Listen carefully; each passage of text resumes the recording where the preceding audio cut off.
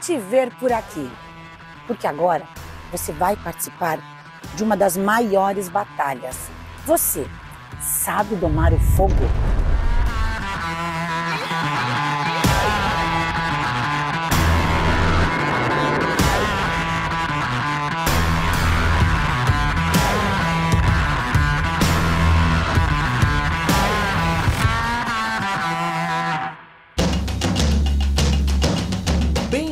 Bem-vindos a uma jornada que explora a magia da união, onde o fogo e o churrasco se encontram.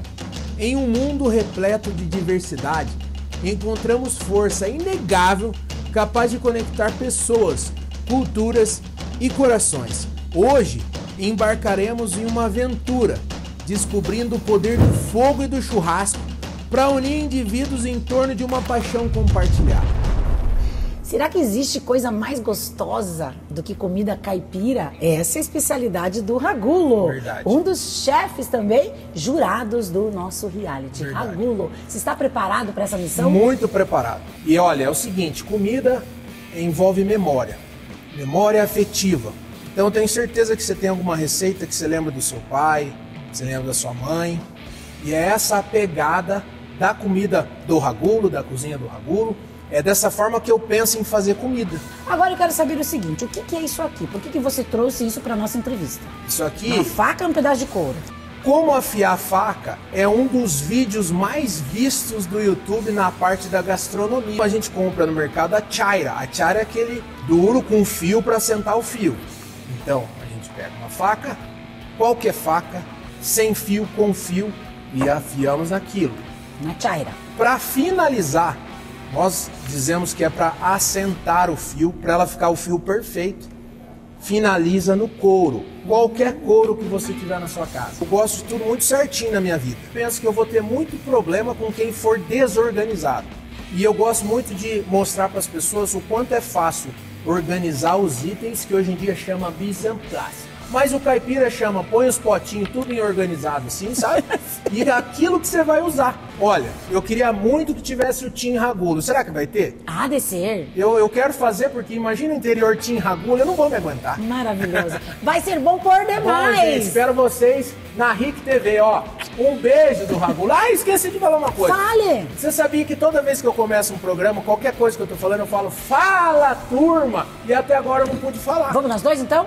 Fala, Fala, turma!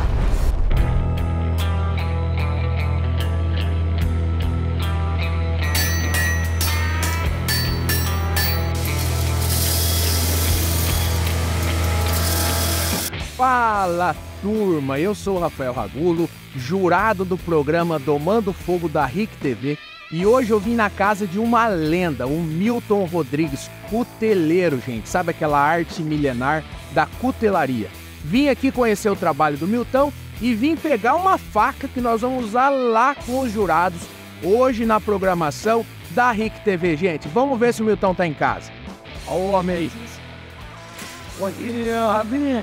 Como é que maravilha, bem? Você, como é que tá?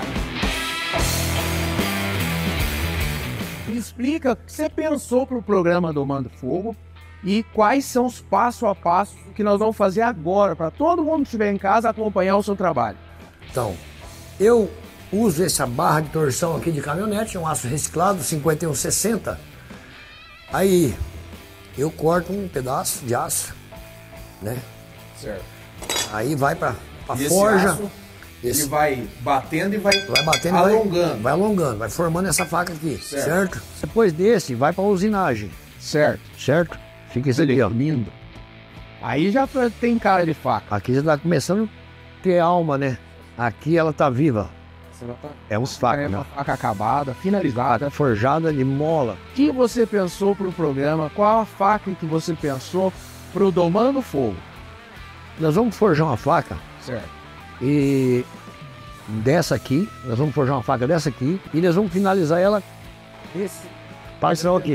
Com esse- O que, que é isso aqui?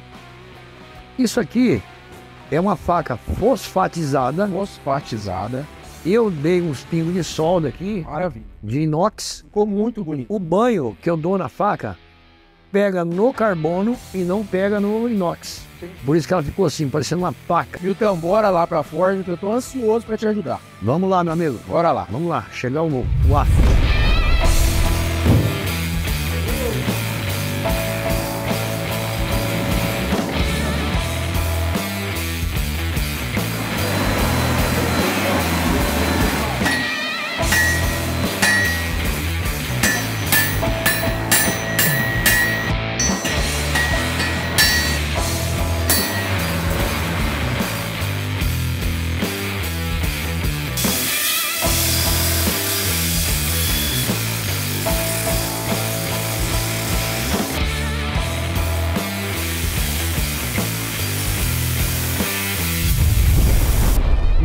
Que que tá faltando agora pra essa faca domando fogo?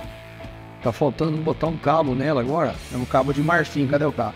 E esse aqui, ó. E depois fazer a fiação nela. E dar o banho nela pra ficar pra mostrar o desenho.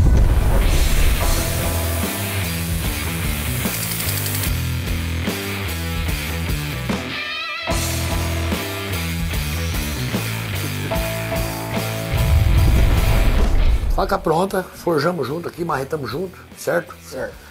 E será que vai servir para os chefes lá? Vou fazer um pequeno teste de fio aqui. Que não pico-pico, tá nas suas mãos.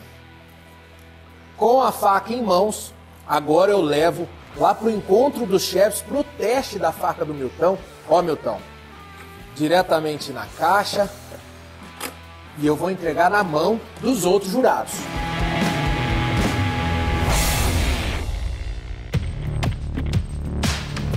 Tudo bem? Tudo certo? Beleza? Fiz questão de trazer a faca do Domando Fogo lá do Milton. Maravilha! Coisa mais linda. Isso aí. Tudo aí, Olha meu só. amigo. yes. Muito linda. Gente, bora começar a brincadeira. O programa começou. Isso aí. E aí, Delião, o que, que eu preciso fazer aqui pra gente? Bom, abre bem. Abre e corta essa peça em quatro. Dá uma secada nela. A panceta para ficar pururuca tem que ser bem sequinha. Olha só essa faca, meu. E direto da fábrica, do artesão. Maravilha. Que bacana. Então temos aqui quatro pedaços, porque geralmente você vai ter em casa uma grelha pequena, mas são grelhas que você consegue manusear com facilidade, realocar na grelha conforme esteja a temperatura, a brasa. Mas o mais importante é você secar bem e deixar essa carne temperada pelo menos aí de 15 a 20 minutos para pegar o tempero. Eu vou mostrar para vocês. A gente tem aqui várias opções de tempero e alguns truques para desidratar. Desidratar o quê? Desidratar a pele da carne, a pele do porco. Porque senão ela não bururu. Seja no forno, onde vocês forem fazer, o importante é desidratar. Então, primeira coisa, vou pedir aqui pro meu ajudante Will colocar um pouquinho, pouquinho a cachaça. Se tiver produtos locais, sempre é melhor. Aqui no caso, a gente tem uma cachaça de Morretes, aqui do Paraná. Isso. Eu escolhi aqui um, um sal muito saboroso. Vamos colocar em toda ela e massagear também. Por favor, me ajuda a massagear a carne para que penetre mais e mais rápido esse tempero. É, desidratar a pele. Tem algumas. Primeira, pode ser vinagre, cachaça. É, o sal é muito bom e é o que a gente vai fazer nela assim que a gente virar. Aí, já podemos virar a carne. Isso. Agora sim, mais cachaça, isso. Ok. Essa parte eu gosto. Isso.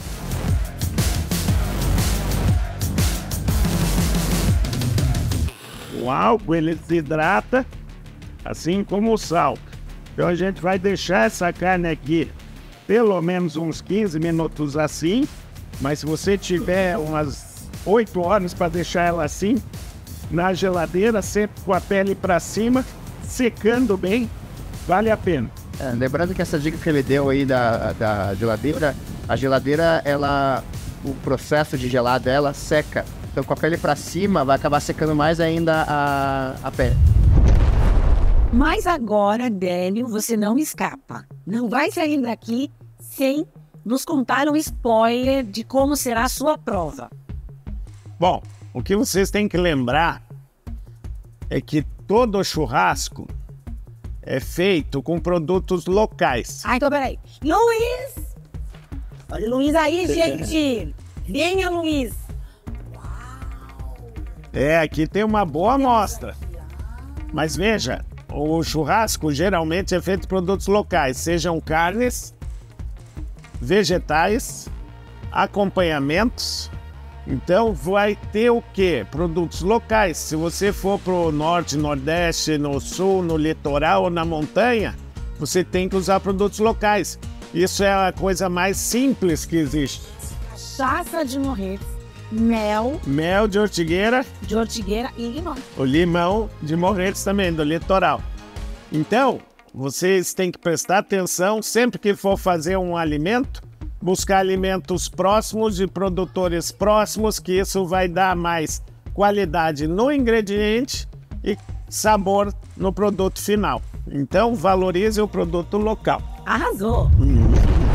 Então, passados esses 15 minutos, o máximo que você consiga, a gente vai preparar ela para ir para a grelha. Muito simples, mas muito importante. Secar bem a pele. Vamos secar bem essa pele.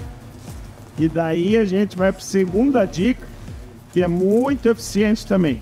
A gente vai colocar bastante sal em cima da pele. Esse sal não vai penetrar na carne, não vai deixar ela com excesso de sal. Então não importa a quantidade, desde que seja muito. Exatamente. Ah, muito Desde que seja muito. Vou pôr um pouquinho aqui.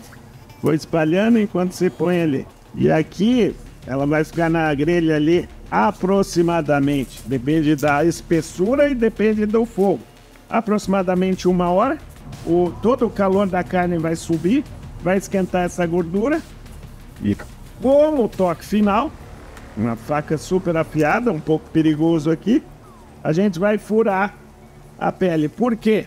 Porque os primeiros 50 minutos a gente vai deixar ela com a carne para baixo, pele para cima.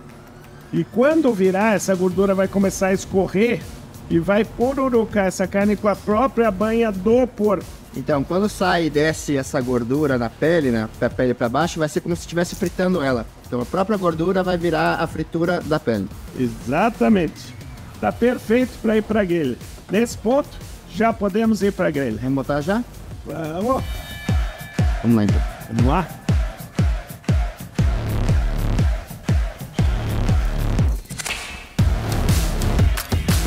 Então agora é aguardar, observar e ficar cuidando, para que o fogo não esteja nem muito forte e nem muito fraco. É, esse é o programa, tomando o fogo.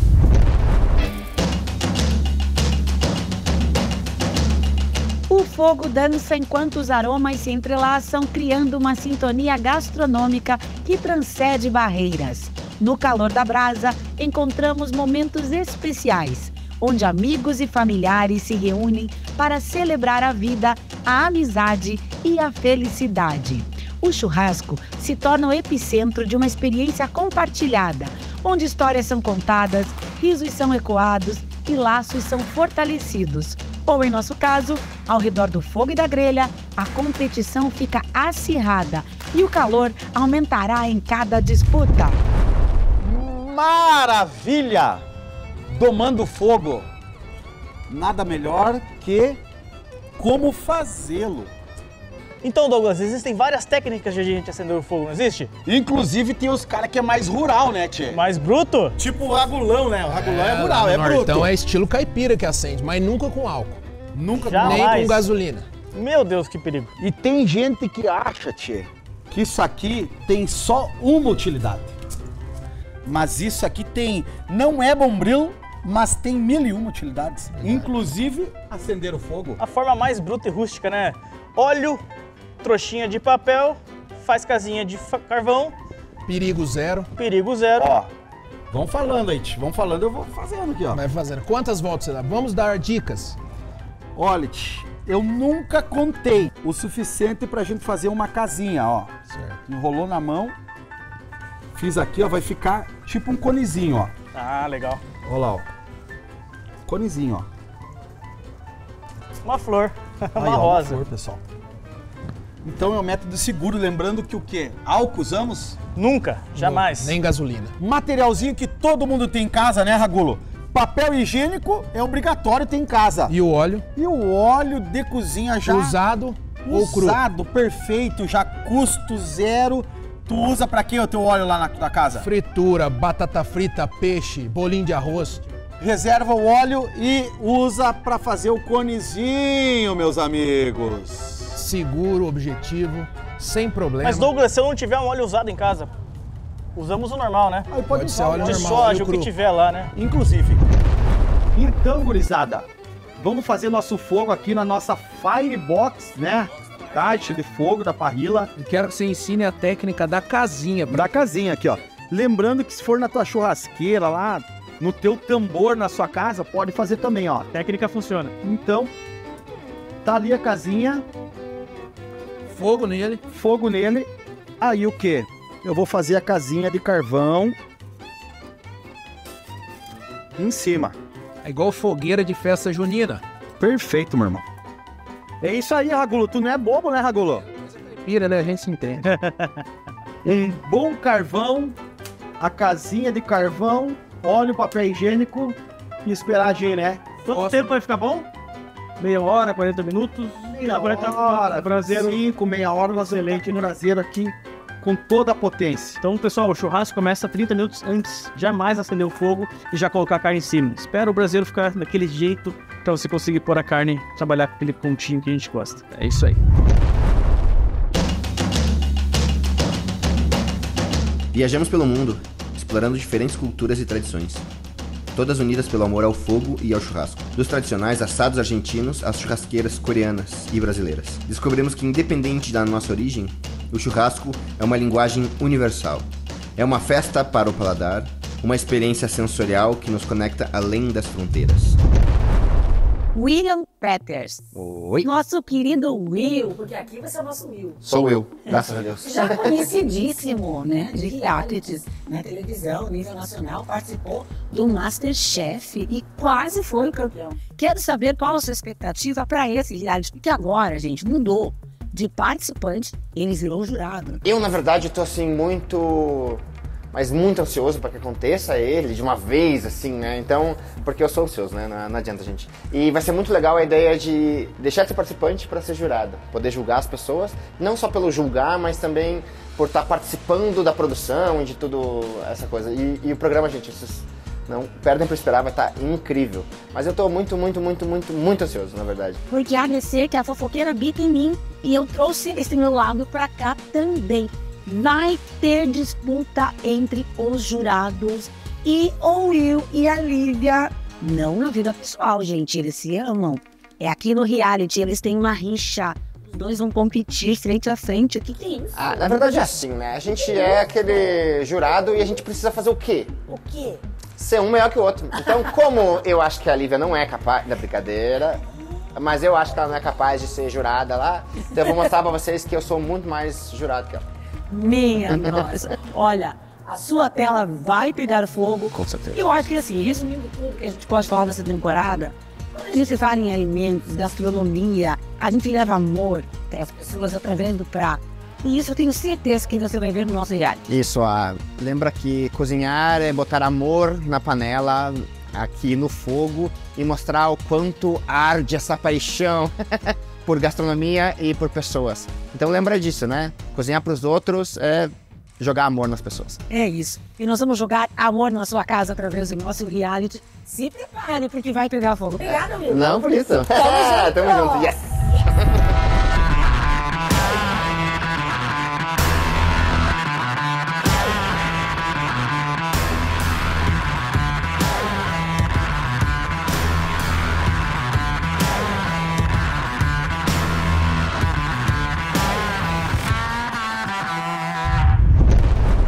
Bem, então aqui nós temos três tipos de proteína: o frango, o cordeiro e o- a carne de gado, calisto. A proteína de frango. Pessoal, aqui a gente tá com uma sobrecoxa desossada de frango, é uma ótima opção para a entrada. E se for no açougue bom, ela já vem assim, ó, prontinha, desossada, e você coloca o tempero do seu gosto. Então tem várias opções, marinar com cerveja, os temperos prontos aqui do nosso amigo. Então, pessoal, ótima opção para a entrada. Douglas, o cordeiro. Cordeirinho simplesmente fantástico, meu amigo. Por que cordeiro? Muitas das vezes perguntam qual que é a diferença cordeiro, ovelha, carneiro, precocidade e idade do animal. Cordeiro, uma paleta de cordeiro normalmente ela é de 900 a 1,3 kg o máximo. Passou disso já não é mais cordeiro, já é um carneiro, já é um animal mais velho. Um cordeiro que ele ganha em sabor e maciez da proteína. Cordeirinho, olha essa paleta, simplesmente fantástica, fantástica. Isso aqui na grelha ou no espeto, meu amigo. Maravilhoso. E aí, e o gadinho, como é que fica? Gado é o seguinte, nós temos aqui três opções de corte. Esse aqui, hoje em dia, é chamado de tibone. Mas lá antigamente, na época que a gente carneava, Raiz, raiz. bisteca com mignon. Então hoje gourmetizou e virou o tibone, um tibone mais largo, muito bom para ser feito, porém possibilidade de erro, porque é difícil fazer ele, né, O Felipe? pontinho, né? O pontinho, ó. Qual que é o ponto certo? Ai, ai, ai, calma. Então, corte grosso desse, existem algumas técnicas, né?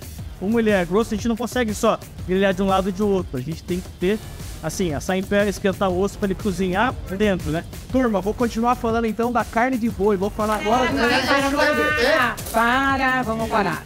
Tá na hora de começar rápido aí. Quem convidou o Will, quero saber. Vamos não, gente. Chega, chega, chega. Nós estamos com fome e a gente quer comer e vamos Vamos colocar na, Já. na grelha. Vamos, vamos trabalhar. grelha. Vocês estão muito, Bora pra grelha então.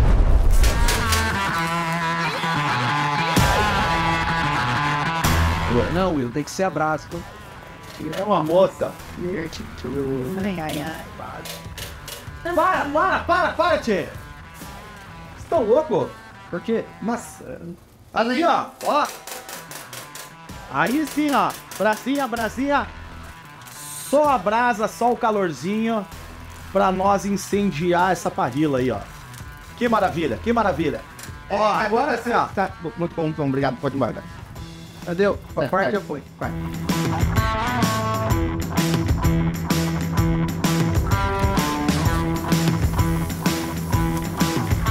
Dois tombos, depois ela sobe e fica cozinhando.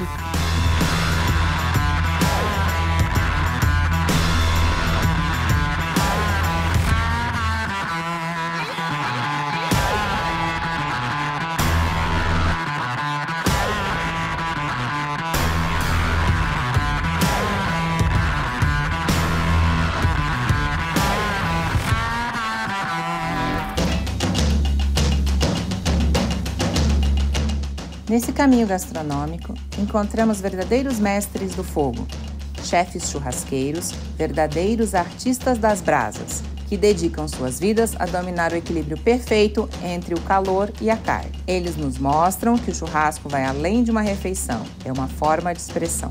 Um ritual que exige paciência, habilidade e paixão para criar verdadeiras obras de arte que saciam os apetites mais exigentes. Nós vamos fazer uma coisinha bem rápida aqui para a gente trabalhar sobremesa dentro de um assado, tá? Dentro de um churrasco. Nós vamos fazer uma torta de maçã. Torta, caramelo e uma massinha podre, que a gente chama, que é a nossa massa sucrê, certo? Massa sucrê, trigo, manteiga, gema de ovo e açúcar, maçã assinatura, açúcar e canela em pó.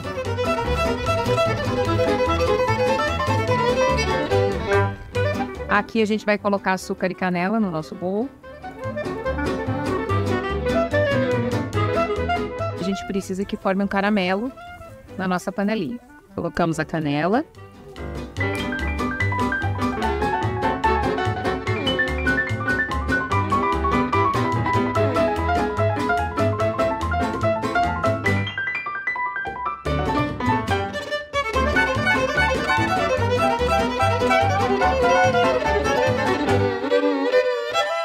Quer segura o ombro? E agora que você vai na janela, tem virar confeiteira.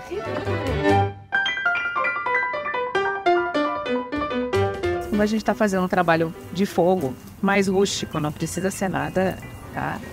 Vou só dar umas aberturas porque ele vai inchar, vai estar vapor demais e pode estourar. Vai para a grelha um pouquinho em cima, depois a gente finaliza com ela embaixo. Olha lá.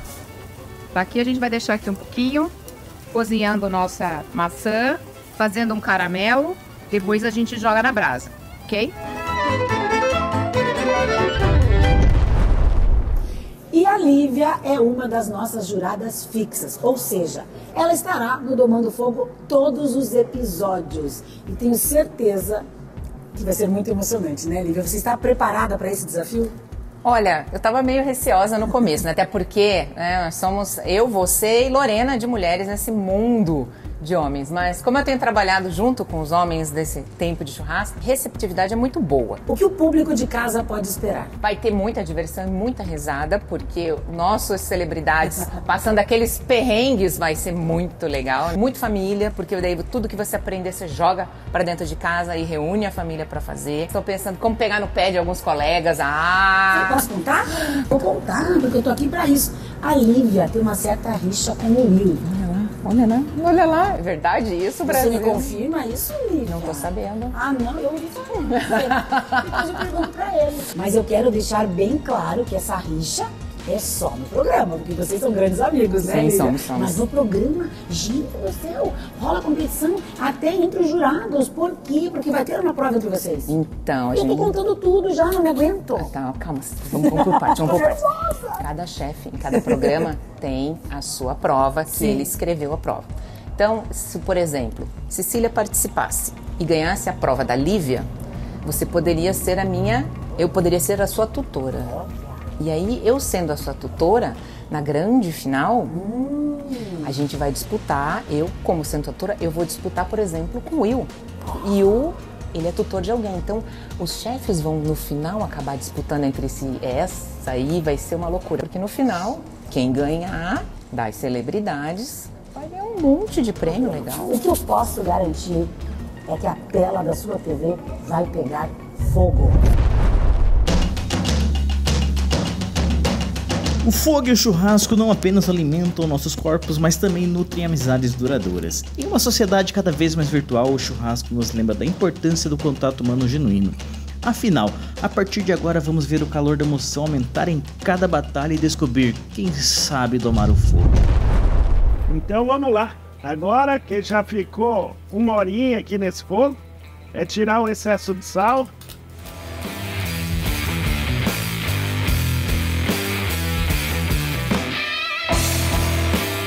Secar bem essa pele. Tirar o excesso de sal? Também tira o excesso de sal e já seca. Faz duas coisas de uma vez só. Ou volta pra brasa forte pra dar aquela pororocada. E aqui, ó, um, dois, três, já tá queimando. Então aqui ela vai com certeza pururucar. Tem que ficar de olho pra quê? Pra que a pururuca não queime e fique preto e amarga. Aí não dá pra comer. Gente, o que, que é isso? Tudo bem que acabou a venenosa, mas essa aqui é a Judite? Calisco! Coitada. Meu Deus. Pra isso? É um jacaré ou uma cobra? É um jacaré. Um jacaré. Ufa. O que, que você pretende fazer com a sua participação? Como é que vai ser a participação do Calisto no Domando Fogo? A minha prova vai ser uma prova surpresa. Eu não vou poder dar muito spoiler, senão vai perder a graça, né? Isso aqui, o que, que é isso aqui? Cecília, isso é um, uma casca de um ovo de avestruz. Avestruz. A metade de, uma, de um ovo. Jacaré. O que será que vem O aí? que será que vem aí?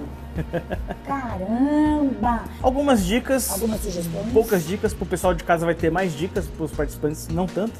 Vai ter umas tomadas ali, pessoal, não faça isso em casa. Aí a gente só dá um toque Isso é pro bom, é participante. bom. Mas é. Vai ser legal, vai ser muito divertido. O pessoal vai se divertir bastante lá. E qual que é a sua especialidade como chefe, Calisto? Bom, filha, eu sou churrasqueiro profissional aqui em Curitiba, trabalho com eventos. Então a minha especialidade é desde o fogo de chama, parrilha, carnes exóticas, frutos do mar. Eu gosto de mexer com coisas diferentes do que o pessoal propõe já, né? Então, pessoal de casa, o programa vai ser muito divertido. Eu estou muito animado para para estar lá, para começar esse programa. A minha prova vai ser uma das provas mais legais e divertidas, porque tem as surpresas, né? Eu não posso falar muita coisa, mas eu espero que vocês estejam com a gente lá, vai ser muito divertido.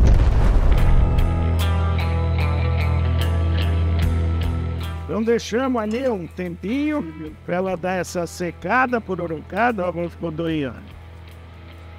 Agora é cortar e servir. Sidney, tem uma cervejinha pra gente experimentar? Com certeza, Adélio. Qual harmoniza melhor, é? Hoje eu sugiro Pilsen a 2 graus centígrados né? e também a Red, a Red a 5 graus, para vocês degustarem junto com essa maravilhosa carne.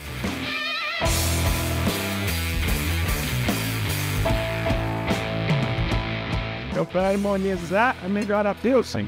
A Pilsen e também para finalizar com a Red.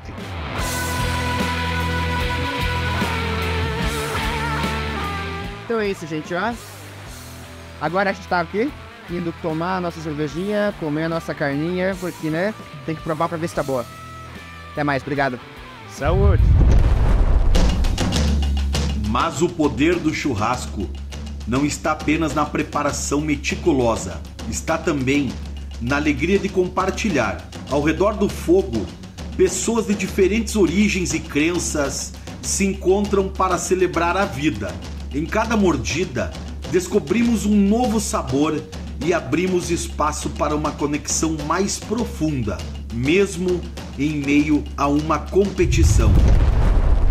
E num programa que a gente vai falar sobre churrasco e carnes, não pode faltar um jurado gaúcho.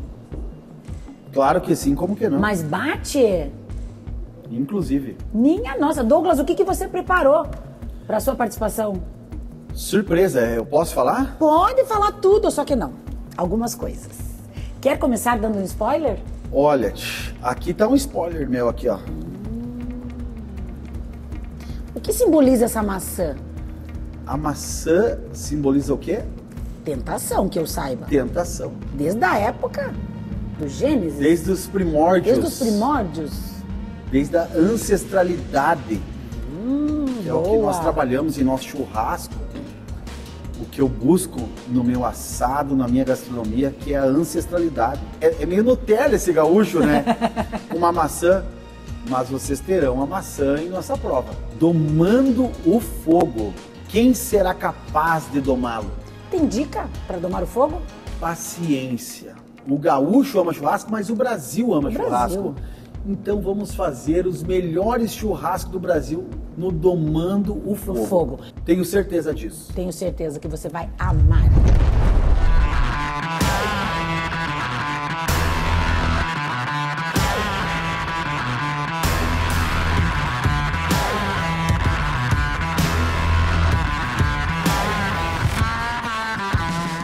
Demos uma estreadinha, até porque tá bem quente. E vou finalizar com nata. Quem tiver nata, usa nata. Quem tiver um sorvete de creme, pode usar o sorvete de creme. Mas a ideia é, como é uma sobremesa grande, vamos compartilhar. Cada um pega uma colher e vem compartilhar. É isso aí, gente. Eu vou vir aqui já ó, pra.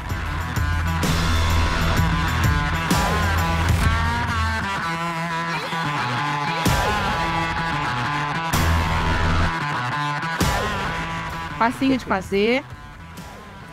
Gostou de comer e dá pra compartilhar. A cada episódio, quatro participantes vão competir e se enfrentar para conseguir apenas uma vaga na final. E aí, nós realmente vamos descobrir quem sabe domar o fogo.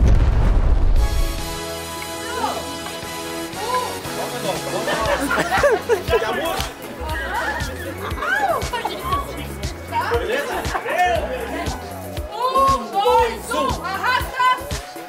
Ertuğrul.